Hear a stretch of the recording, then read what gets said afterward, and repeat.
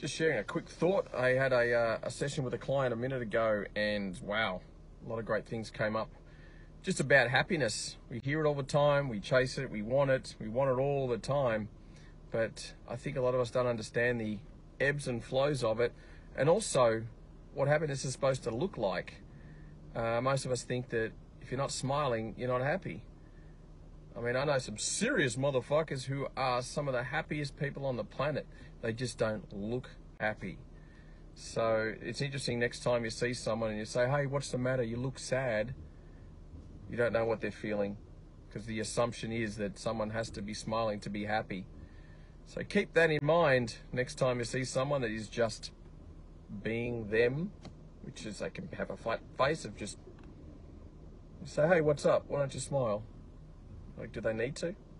Happiness is internal. And that's up to